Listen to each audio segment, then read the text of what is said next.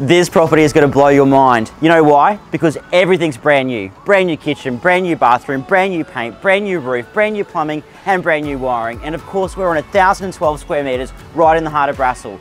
Plus, we have an Art Deco twist. I mean, what more could you possibly want?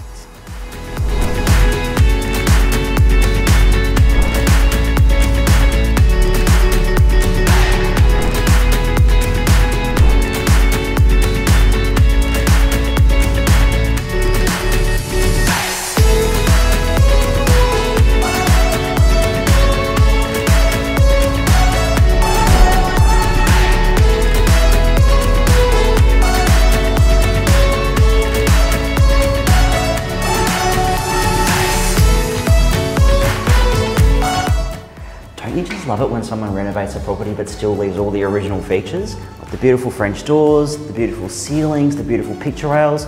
And this property is sitting on 1,012 square metres as well. And you can walk the kids to school, the shops, parks. There's so much on offer. And of course, the busy Brisbane commuter is going to love the quick highway access. And I think you're going to love it too. Give me a call, send me an email, and I'll show you as soon as I can.